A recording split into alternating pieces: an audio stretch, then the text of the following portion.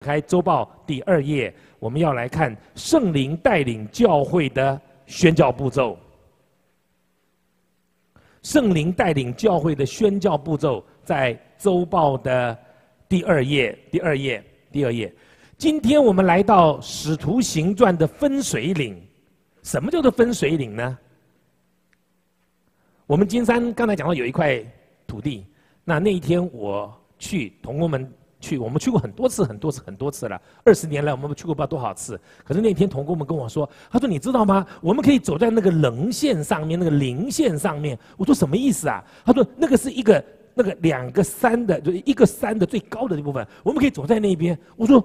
很可怕吧？他说不可可不不可怕，因为不是一个尖尖的地方，但是他说水到这边就分开来，这边的水往这边流，那边的水往那边流，那个叫做分水岭。使徒行传是教会建立和发展的记录。当我们这样讲的时候呢，我们一下就想到说，两千年来教会的发展，对，两千年来教会有一定的发展方向。可是我告诉各位，这两千年来发展的方向从来没有超过《使徒行传》。这就是为什么我们说圣经是神所漠视的，是路加写的，是他收集的资料，是他努力的去整合。但是当他写的时候，他以以以自己所有的资料在写的时候，圣灵在当中做了奇妙的工作。两千年来的教会从来没有忘记要读《使徒行传》，因为《使徒行传》说明了一个。历史教会的发展以及个别教会的发展，包括我们教会在内，你一定不太能够明白。最近又有人拿拿拿拿一个一个一个一个光碟片给我，说这是圣经密码，请你看。我还没机会看，不过圣经密码一定是真的，就在这里面。那今天我们要来看圣经密码的使徒行传第十三章。十三章，使徒行传是主耶稣升天以后，圣灵全面降临，教会建立起来，福音得以广传的记录。教会从耶路撒冷开始往外扩展，到犹太全地、撒玛利亚。有一天，福音要传遍真正的地极，就是福音要传遍给所有的人。在当时，在当时，使徒行传第十二章以前是一回事。十三章以后是另外一件事情了，所以我们说它是分水岭。十二章以前都是门徒自发性的传福音，门徒走到哪里，福音就传到那里。有时候传得很顺利，有时候遇到大困难，但基本上福音是随着门徒的脚中往前走。我相信我们当中有很多人也是这样的。你是一个医生，你可能在看病的时候。病人就觉得你怪怪的，哪里怪怪的？啊，我碰到一个医生，那个医生是个外科手术，是做腹腔的外科手术的。那他现当然现在有很多是用那种那种高科技的，对不对？哈，就是叫做内视镜的，对不对？也有很多是要用传统开刀的嘛。那每次要做传统开刀，特别传统开刀的时候，呃，那病人都吓得半死，然后就跟那医生说。那那那麻醉师已经来了，就开始拿麻醉麻麻麻，你知道麻醉师一下去你就几秒钟而已嘛，对不对？然后那个那个那个那个麻醉师都看到最后一次看到帮他操刀的医生的时候，都跟那个操刀的医生说：“医生医生，拜托拜托了哈。”那我认识那个医生呢，是一个很有名的医生，是操刀的医生。他每次都跟那个呃那个那个病人开玩笑的说：“他说哈，他说你不要拜托我，他说因为等你眼睛一闭。”昏迷过去之后呢，我也拜托另外一个人，所以你要不要现在就拜托他？结果那个病人就觉得说：“啊，你是怪怪的哦，哦啊，你是哪里根筋不太对？”他就说：“哈，我老实告诉你，等一下，等你预备好了之后呢，我也会先做祷告，求上帝给我恩典，也给你恩典。所以等一下我开刀之前，我会先祷告。你要不要现在先祷告？你说这个医生是不是怪怪的？因为他走到哪里？”福音就被传到哪里？我也知道一个律师，他每次在跟跟那个那个那个呃呃当事人谈到后来，他就跟他说：“他说我建议你，我们先来祷告。”律师哎，专业一点好吗？不要跟我讲宗教好吗？你要知道，福音广传是透过门徒到哪里就传到哪里。很多老师也是这样，很多老师也是这样。我在民传教书的时候，教了三千个女生，那个时候只有女生没有男生。其中那三千个学生没有一个没有听过福音的，不过都不是我强迫的，都是他们逼我的。他们逼到我，后来我就说好，如果你们要听，下课留下来听，上课时间不能讲福音。我三千个学生全部都听过福音，其中当场信耶稣的就一百多个人，当场三百三千个一百，也还不错了哈。很多人跟我说：“你干嘛去当牧师呢？你当老师不是传福音更快吗？”我现在到很多地方都碰到我的学生。有一天我上飞机，我我上飞机之后，有一个空服员，他就跟我打招呼，他跟我打招呼，我就跟他打招呼。因为我是金卡，所以他跟我打招呼也很正常。他这边是两条，一看就是事务长或者做厂长。他跟我打招呼，我就跟他打招呼，然后我就我就进去坐下来。那等我回来的时候，他说：“老师。”我吓一跳，我说：“怎么叫老师呢？”他说：“我是你的学生。”福音的广传，是透过我们个人走到哪里就到哪里。使徒行传十二章以前，福音传开就是这样。基本上，福音是随着门徒的脚踪往前行。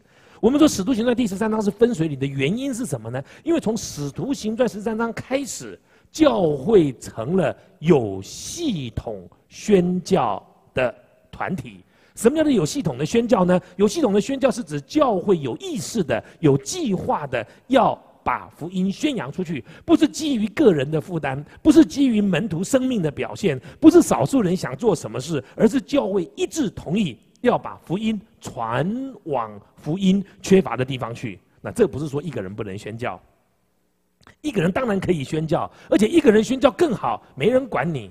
像我现在有很多地方的工作呢，是我一个人在做。那么，那么其实更好了，因为不必不要跟跟跟别人商量嘛。我不要跟你商量说你觉得怎么样，因为你知道，当你要跟别人商量的时候，大家都有意见。那如果你自己决定的话呢，你就可以做啦。我不必跟任何人商量，我就可以在我所到的地方传福音。使徒行传第八章的菲利就是最美好的见证嘛。他把福音传到撒玛利亚，传到撒玛利亚，他不必跟任何人商量，他就传过去了。又像埃提阿阿伯的太监传讲福音，只有一个人跟他同工，那个人叫做圣灵，福音就进到非洲了。所以福音进到非洲，并不是教会传过去的，福音进到非洲是个人传进去的。彼得到该沙利亚去传福音给外邦人。彼得哎，主的大使徒哎，当时他的力量多大？他叫人瘸腿起来行走，他就起来行走。他福音传到哪里就传到哪里。可是你知道哦，这个是他个人的行动，不是教会的行动。因为这个缘故，福音虽然跨一大步的宣教到外邦人呢，你要知道，我们都是外邦人，我们当中没一个犹太人呢。我们今天可以得着福音，因为彼得当时做了一个没有经过教会同意的。事情就是福音传给外邦人，因为这个缘故呢，他回到耶路撒冷还被调查，说谁说你可以把福音传给外邦人的？你就知道，个人福传扬福音这个美好的见证，可以使福音跨越地区、跨越种族。但使徒行传第十三章开始，是教会有意识的要把福音传扬出去，这是教会的决定。教会决定要这样做，这是教会史上第一次的宣教工作。你要知道，圣经凡是记到的第一次，都是一个标准模式。我再说一遍，圣经上只要记载教，呃，只要记载到那件事情是第一次，那就是最标准的模式。神创造天地，这是个标准模式。以后神就是被确立为使无变有。的神，耶稣在迦南，在迦拿把水变成酒，这个水变成酒的这个神机，就成为耶稣所有神机的最主要的那个模式。所有的神机都和约翰福音二章一到十一节的水变酒有关系，因为它是一个模式。它是一个模式，因为这个缘故，《使徒行传》第十三章、十四章，今天早上我们要看的是讲到教会第一次的宣教工作到底是怎么成型的。那这一个成型，就成为我们所有个别教会、宗派教会，甚至小教会宣教的最主要的。那个内容，因为这个缘故，所以我们题目叫做“圣灵带领教会的宣教步骤”。亲爱的弟兄姐妹，请仔细听，这是一个步骤，这是一个步骤。如果这个步骤我们抓准了，我们的宣教就一定能够像初代教会这样。如果我们这个这个宣教步骤出了问题，我们就没有办法有效的把福音用教会的角度传扬出去。我再说一遍，我再说一遍。个人的宣教、个人的传福音、个人自然生命的流露，那个是很容易的事情，那是你跟上帝的事。可是教会如果要宣教就不容易。而奇妙的一件事情是，教会第一次的宣教的工作却不是从耶路撒冷教会开始的。请问是哪一个教会啊？哎，你们要讲话哎，什么哪个教会啊？安提阿教会。安提阿教会是一个在外邦地区的教会。他不是在耶路撒冷的教会，他不是在犹太权力的教会，他甚至不是在撒玛利亚，他是超过那个范围的教会。从这边十三章、十四章，我们归纳出宣教的步骤有四个：第一，请你写下来；第一，因圣灵内住而彼此接纳，而彼此接纳，而彼此接纳，这是一个很奇怪的。你你你要知道哈。按照我们人的想法，我们有很多很多的想法。当我们讲到宣教时，我们有很多很多的概念。可是圣经启示出来的，告诉我们第一件事情是：当你要成为一个宣教的教会的时候，当你要开始把福音传扬出去的时候，有一件最要紧的一件事情。如果是你个人，那没有问题；如果是团体，那第一个步骤就是因圣灵内住而彼此接纳。前面我们提到，个人的宣教是基于他们个人有感于基督的爱。他们对福音的热切，他们被圣灵充满，他们有丰盛的生命自然流露出来，因此他们所到之处，福音就被传开了。我认识很多人，其实是我们教会很多很多的弟兄姐妹，生命有很美好的见证，在各行各业做见证，在各行各业，我我所谓的做见证啊，都不是有故意的，你知道吗？你故意反而不像，你生命自然的流露才是很稀奇的事情，才是很稀奇的事情。那是因为圣灵住在我们里面。但是我们知道，这种个人的福音工作、个人的宣教工作是很不容易的。为什么？因为他们单打独斗，一个一个医院几几几十个甚至几百个医生，只有你一个医生是基督徒，你很辛苦；护士也不是基督徒，所以你做起来就不容易。如果你在学校当老师，只有你一个老师是基督徒，其他老师都不是基督徒，你也很孤单。他们不一定有人支持，他们不一定有后援。当然，他们是靠着圣灵有主的恩典，但是他们的行动是孤单的。他们没有团队，他们要自食其力，他们需要自我鼓励。这几年我在做的工作，有一些是属于教会的，有一些是属于我个人的。你知道，那个个人的宣教是很辛苦的，因为要钱，你钱哪里来？因为要有人支持，支持哪里来？因为要有人祷告，祷告哪里来？所以，如果我做一个工作是我自己在做的，我都要提早到那边，更多的安静，更多的祷告，求主给我恩典。不是每一个人，不是很多人可以帮助我。我明，我今天下午讲完，我现在讲完三堂之后，我回去洗一个澡，吃一个饭，我就坐飞机要到欧洲去。这是四个国家，一个月回来，然后到马来西亚去。到马来西亚有一个三年前就答应别人的，现在有一点后悔。但是都不可以后悔，对吗？因为如果不必飞到马来西亚去，我就继续留在欧洲，我还欧洲还有工作。但是我回到马来西亚之后呢，我就说已经到马来西亚了，我就回台湾，回台湾处理一点十呃七天的工作，再回欧洲去。为什么这么辛苦呢？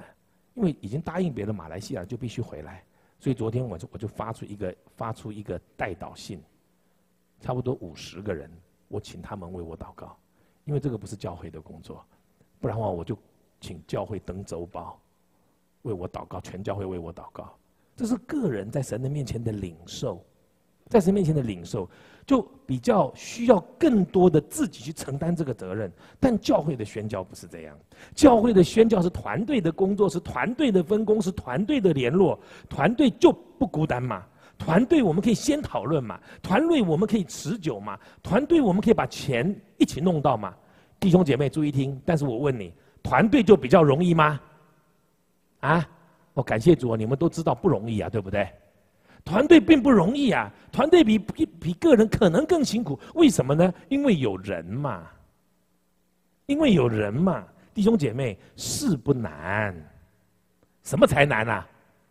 人才难，人才难，不是人才难哦，是人才难。当然，一个人做事有一个人的难处，但多人做事有多人的难处。因此，《使徒行传》第十三章让我们看到，教会宣教的步骤一，就是要有圣灵内住而彼此接纳。你你写好了没有？写好了对不对？圣灵接纳而什么？彼此接纳。弟兄姐妹，彼此接纳难不难？难不难？我告诉你，难，难，难如什么？登天，我们来念来念这两节经文，十三章一到二节，我们一起来念。十三章一到二节，预备，请。在安提亚的教会中有几位先知和教师，就是巴拿巴和称呼尼杰的西面，鼓励耐人入球，与芬芳之王西律同养的马涅，并扫罗。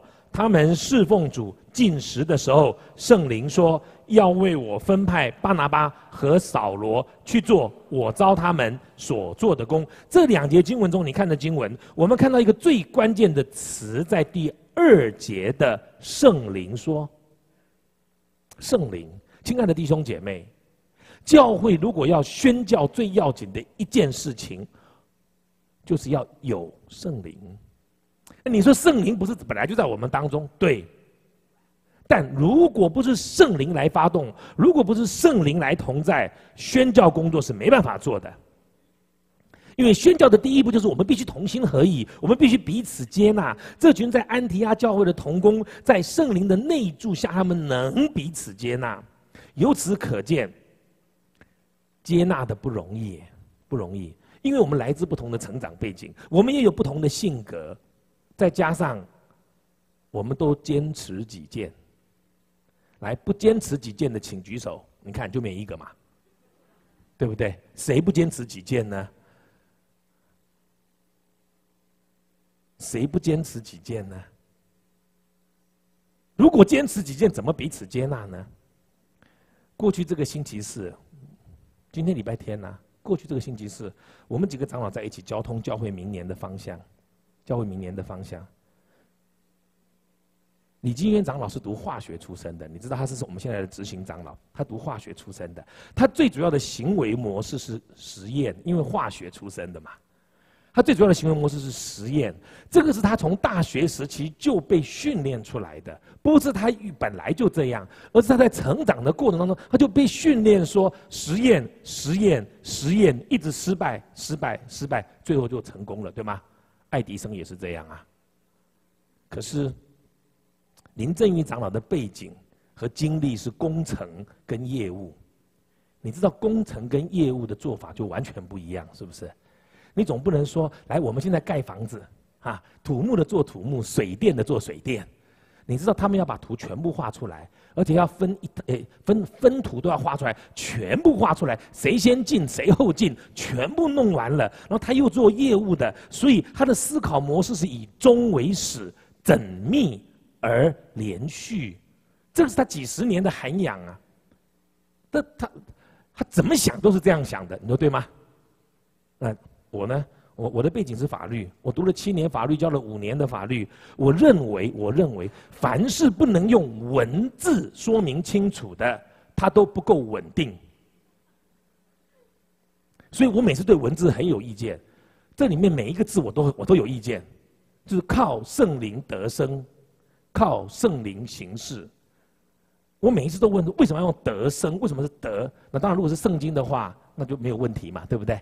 所以我每一次都问为什么这样？为什么不那样？我就有很多很多对文字的意见。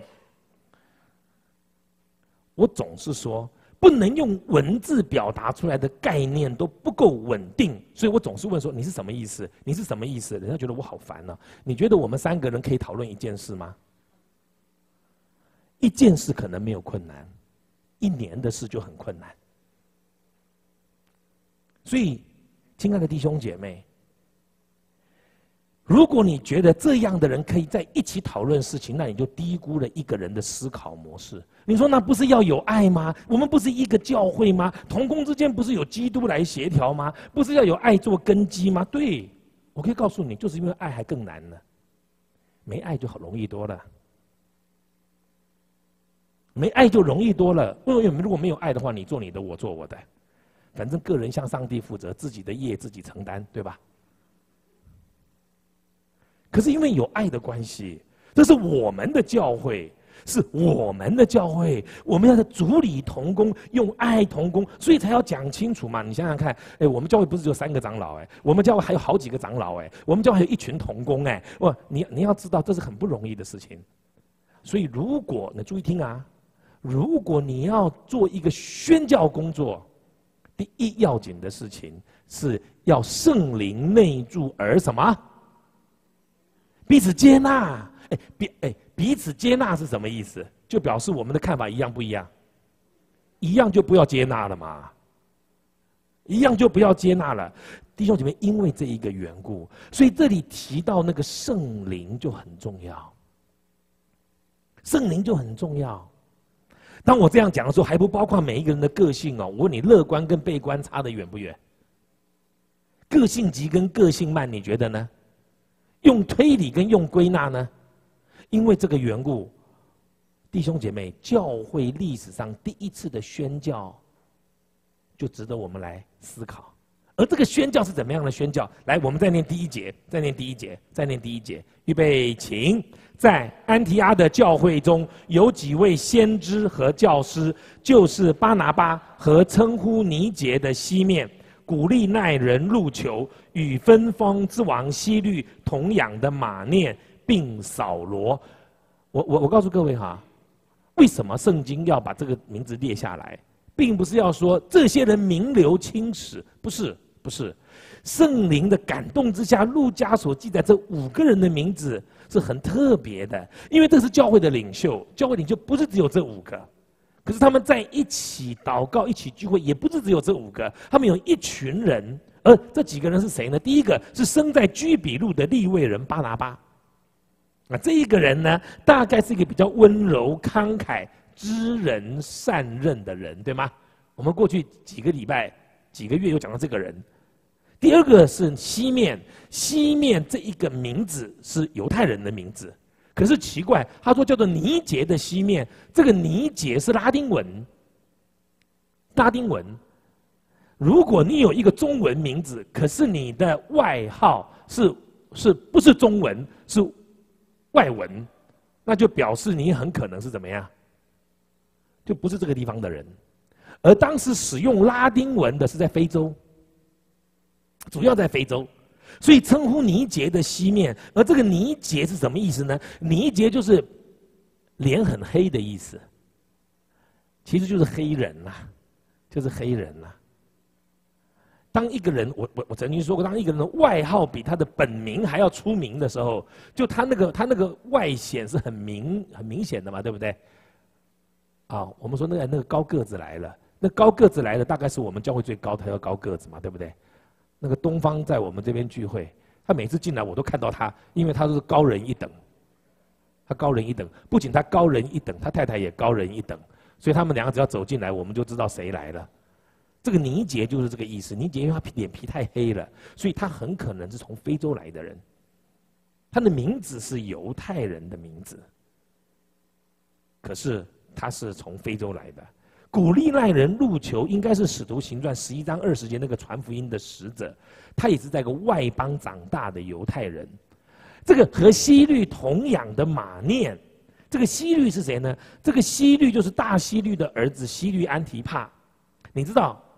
啊，中国古代也是这样，世界各国的古代都是这样。凡是凡是你是一个皇帝，或者是诸侯，或者是贵族，那么你为了让你的孩子有很好的教育，你要找那些伴读的同年龄的，对不对？这个叫做和西律同养的马念，就是这个马念这个人呢，他可能家世很好，可能他们家族的都是有学问的，所以生下来之后呢，他们就把这个孩子接到宫里面跟西律。安提帕一起读书。换句话说，他是个贵族，他是个贵族，他一定养成贵族的特质。再加上最后一个叫做保罗，保罗个性又急，脾气又强烈。你觉得这五个人合得来吗？我想是不容易合得来的。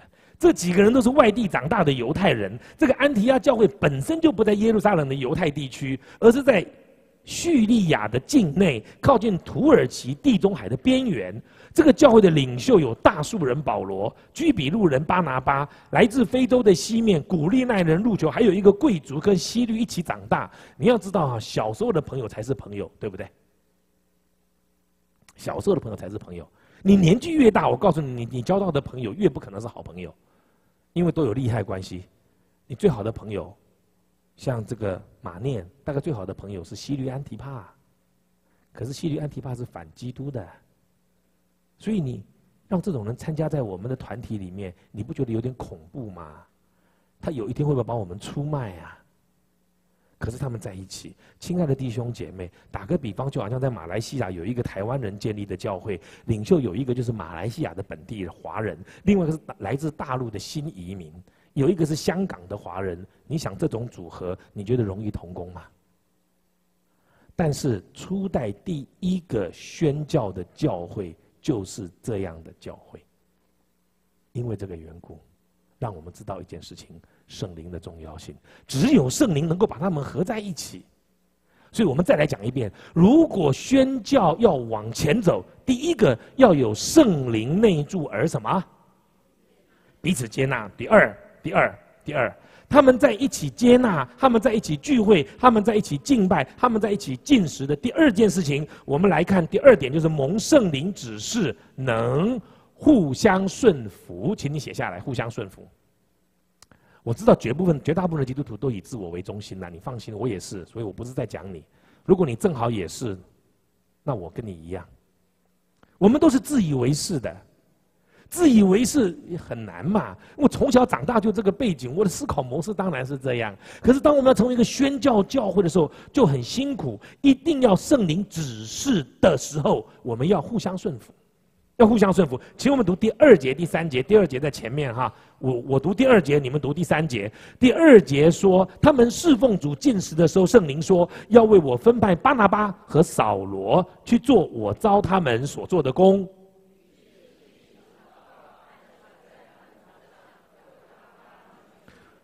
来注意听哦，这边描述一个状况，说说圣他们进食的时候，圣灵说，那合理的推论不是他们在祷告当中，圣灵突然有声音临到他们，所有人都听见没有？应该不是这样，应该不是这样，因为照圣经整本来看，很少有这样的状况，是圣灵突然对所有人说话，没有。所以比较合理的状况是，他们当中有一个人从神领受而分享出来。那怎么这样说呢？因为在第一节说，在安提亚的教会中有几位什么先知和什么？那什么叫做先知呢？那你知道哈，先知不是未卜先知，先知是会比别人先领受神的话。我再讲一遍，我再讲一遍。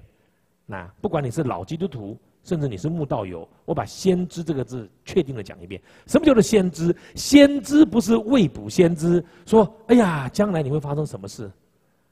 你明天要小心呐！对你出去会被车子撞到，你不出去就不会被撞到。”不是，先知是他比较 sensitive，他比较敏感于神。这是每一个人不一样的。哎，我们当中有没有人有敏感体质的？有没有？有有，你知道吗？你知道为为什么有些人祷告会看到影像，有些人祷告会听到声音？你说我又看不见，我又听不见，没关系嘛，你就做行政工作就好了嘛。不是每一个人都一样的，甚至每一个人都不一样。哎，会听到会看到，我告诉你是比较可怜的人。我没有在开玩笑，我没有在开玩笑。我告诉你，最好是能不听见，能不看见，别人怎么说我怎么做，我都没责任。问题是你就是会听见，你就是会看见，你就辛苦了，你就辛苦了。这里说有先知和教师，所以这里提到的他们进食的时候，圣灵说应该就是他们当中有些人先领受了，然后分享出来。你要知道哦，当时是没有教会宣教的概念，没有，这是一个创始的概念，就是说我们一起派巴拿巴跟保罗出去好不好？从经文中看不出来。其实当时也完全没有这种状况，他们可能只有同工会，他们没有执事会，当然不可能有长执会啦，因为长老都还没案例呢。教会宣教比较复杂的问题在于，教会宣教需要用到教会的钱、教会的资源，要有后勤资源，要规划如何去，要规划如何接应。你知道，徐薇薇当时在在在柬埔寨有有有问题的时候，我们马上开会，一直开会下决定，下决定要怎么去，是把把他接回来，还是我们派人去？那个需要马上做接应的工作。我们知道，这是很不容易的事情。如果是一个人就很容易，像我现在，我也不需要跟你们讲我去哪里，我就去了，我回来就回来了。你你你愿意为我祷告就祷告，你不愿意为我祷告就算了，反正我是从神领受的。可是教会就不是这样哎，教会就不是这样，教会我们必须一起讨论。从这一边经文看起来，是有人站起来说圣灵指示我，让我们派巴拿巴跟保罗去。你觉得其他人会怎么说？为什么听你的呢？对不对？哦，你要用圣灵这个帽子来扣我，我就要听你的吗？因为这个缘故，第二点就是蒙圣灵指示，能什么？互相什么？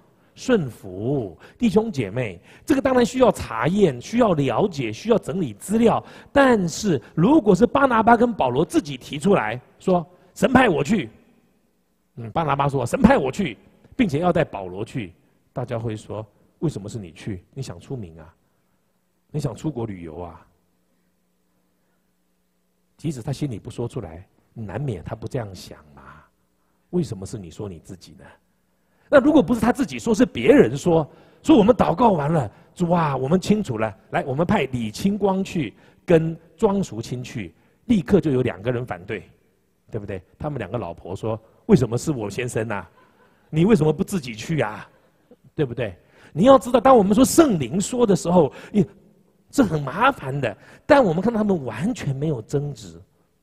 为什么是我呢？我不会这一个啊。保罗更可以说了，他有理由说：“哎，我是最小的，我什么都不懂的，所以不要派我去。”哎，巴拿巴倒不错。那巴拿巴说：“哎，我我年纪已经大了，你们可以找年轻的人去。”但是不是这样？第二节说他们侍奉主进食的时候，圣灵说要为我分派巴拿巴跟扫罗去做我招他们所做的工。于是进食祷告按准在他们头上，他们就去了。弟兄姐妹，这里还有一个最大的困难，我告诉你，那就是巴拿巴可能是最老资格的童工，他早就在圣灵降临、教力建会的时候已经大有名声，他受人尊重。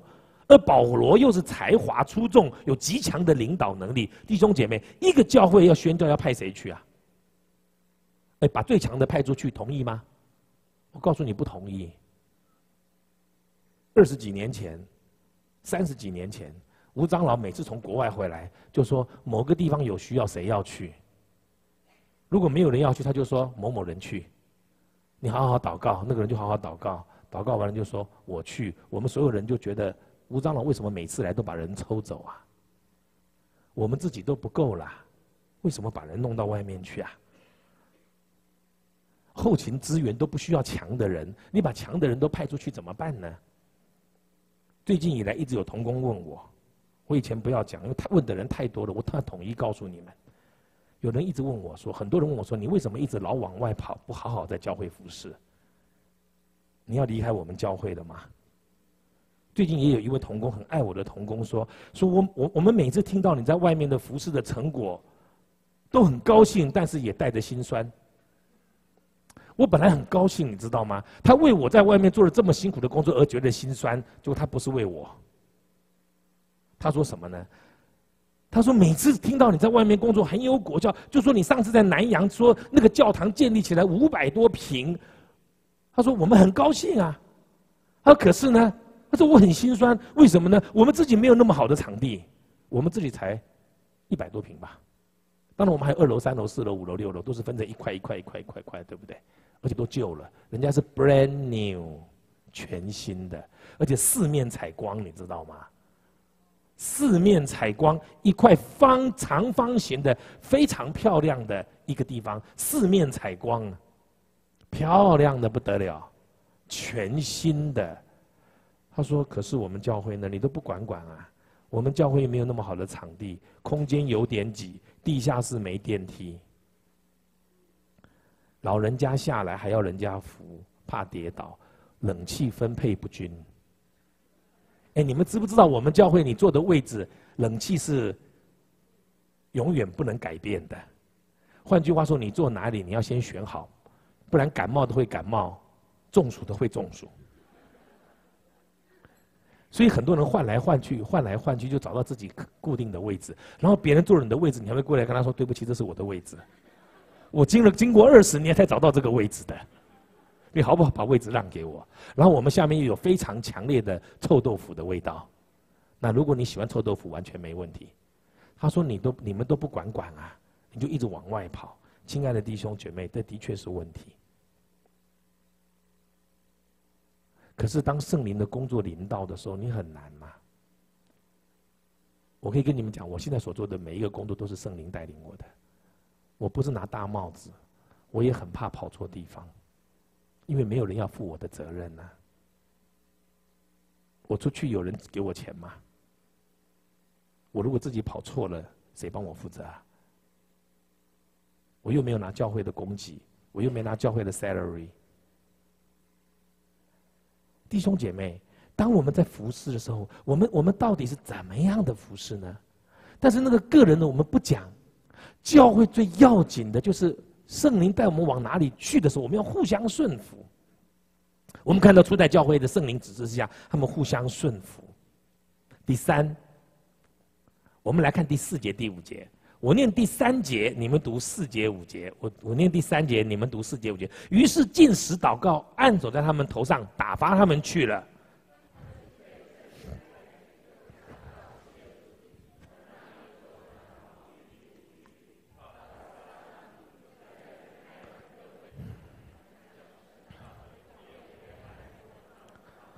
他们受了感动，他们彼此接纳，圣灵也指示他们互相顺服，他们立刻就采取行动。今天当一个教会彼此接纳已经不容易了，互相顺服已经很难得了。这些圣灵的工作在我们身上，我们已经都被圣灵所带领了。但是有时宣教工作，我们就想了又想，做了又想了又想，呃，考虑了又考虑，计划了又计划，评估了又评估，就是不采取行动。而且一下子一点点的困难，我们就不做了。我告诉各位，我告诉各位，这么多年来，教会要做事情，如果你想的太久，就绝对不会做。没有一件事情没有风险的。我们教会，你们可能不知道，我们教会每一次所有弟兄们奉献进来的钱，我们不都放在我们教会的？我们宣教工作花很多的钱的。我们固定支持，为什么记错？是十四个还二十八个单位？我我我不记得了。今天林长老不知道在不在？十四个还二十八个单位，你们根本不晓得。我们每一年奉献，每一个月奉献华神四万多，宇宙光四万多。我们支持一个宣一一一一一个一个一个童工的薪水。我们二二十八个二十八项还是十四项？就是每一个月钱都呃十十四项二十八万，有有多有少，就一直播，每一个月都播啊。没有经过你们同意啊！可是我们教会从来没有缺过钱，真的。即使是教会出了很大的问题，钱稍微那一年不够，第二年我们就全部都回来。因为这是神要做的，神要做的就不用担心。我们一定要有实际的行动，一定要有实际的行动，因为只有圣灵才是宣教最重要的因素，不是人的计划，让圣灵来配合。不是出于团体讨论的认知而使用圣灵的能力，不是因为圣灵不是能力，是圣灵有能力，这两个完全不同。圣灵不是我们使用的对象，圣灵只是我们顺服的对象，所以圣灵不是能力，圣灵是有能力，圣灵就是神。所以不是教会用圣灵来传福音，是圣灵带领教会来做宣教。因为这个缘故，所以我们本末不能导致。最后我们讲一点：被圣灵服侍、被圣灵充满的结果是什么呢？请我们看第四点：当我们开始接纳了，我们也顺服了，我们也实际行动了，我们就被圣灵充满。我们看到十三章到十四章，他们就尽心的服侍，尽心的服侍。保罗跟巴拿巴被拆出去了，当然他们有经济的支持，有其他人的陪同，因为他们有时候要坐船。但是他们凭的是这些吗？不。如果我们读十三章到十四章，我们可以发现他们宣教的果效实在是太好了。他们传到一个地方，那边省长就信耶稣了；他们传到一个地方，那些外邦人都接受了耶稣；他们传到那边，呃，有人就因神迹得了医治；他们传到那边，教会就建立了。特别在十四章二十三节那边说，两人在教会各教会中选立了长老，又进食祷告，把他们交给所信的主，所以教会就传开了。而这两章提到的圣福音工作的果效，最主要是根据两件事，两件事。第一就是神机骑士，请你写下来。四是被圣灵充满就尽心服侍。四之一，被圣灵充满尽心服侍的两个现象，第一是神机骑士。神机其实是福音传到一个地方很自然的现象，有人一直对神机其实采取很保留的态度。我可以告诉你，如果他是神，他不能行神机，他就不能叫神，是吗？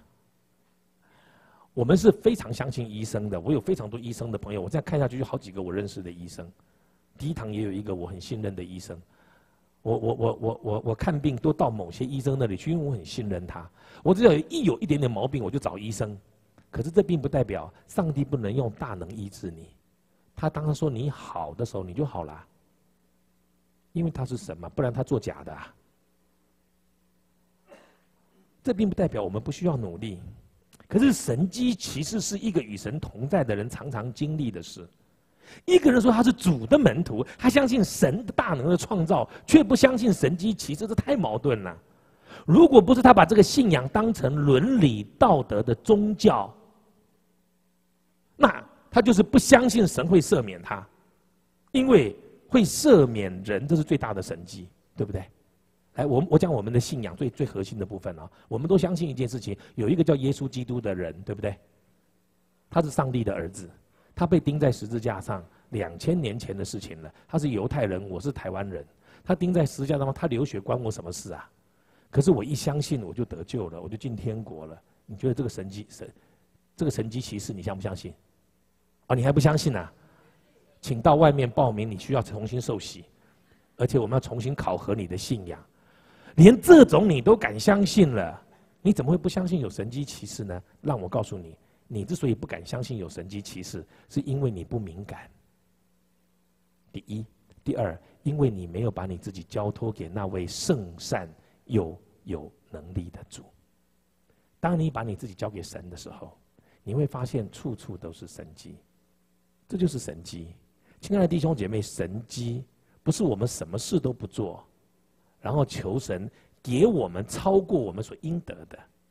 其实神迹就是当我们依靠神的时候，你会看见神做非常奇妙的工作。求主恩待我们。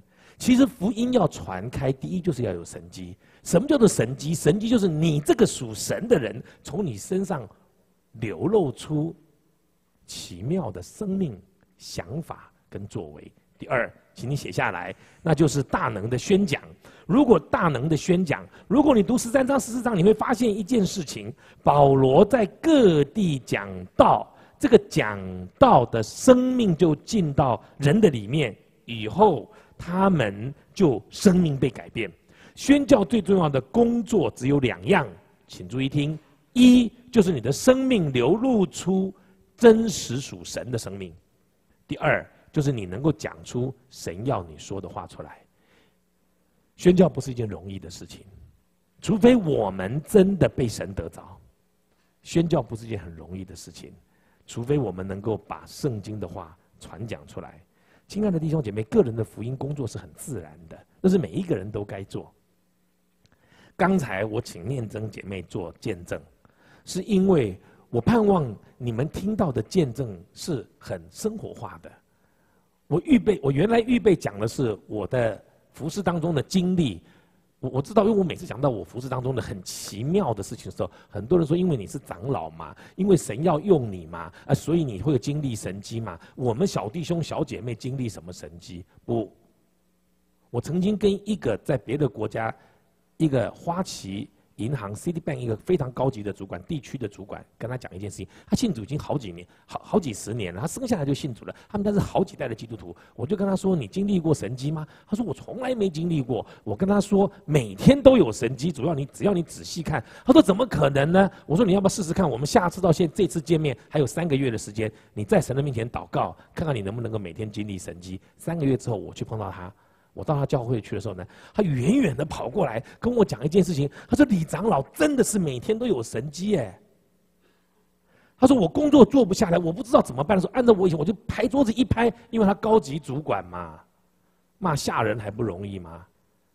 他说：“我就是祷告。”我说：“主啊！”他说：“主啊，让我看见。”三个月，他跟我说：“我跟你做见证，这三个多月以来，每一天我都看到神奇妙的作为。”我盼望我们所有的弟兄姐妹，在个人的福音工作上面，我们天天经历神。但如果我们是讲的教会的宣教，第一就要有因圣灵内住而怎么样，彼此接纳；第二，蒙圣灵指示能够互相顺服；第三，受圣灵差派有实际的行动；最后被圣灵充满，我们就尽心的服侍。最后，我们一起起立，我们来唱副歌：合而为一，凡事谦虚、温柔、忍耐，用爱心。互相宽容，主，我们巴不得在这个教会里面，我们彼此相爱，彼此接纳。主啊，我们都很软弱，但是你是有怜悯、有恩典，你是把大能赏赐在我们当中的神。我特别为我们当中如果有疾病、心中有困难的人祷告。主啊，我求你让我们因着彼此相爱的缘故，互相扶持。主好叫这个教会成为一个有能有力的教会，能够把福音传扬出去，能够把宣教的工作不仅做在台北，也做在台湾，做在中国人身上，做在亚洲，甚至到世界各地。我们现在要分散，愿主耶稣基督的恩惠、天赋上帝的慈爱、圣灵的感动、交通，与我们众弟兄姐妹同在，从今直到永永远远。阿门。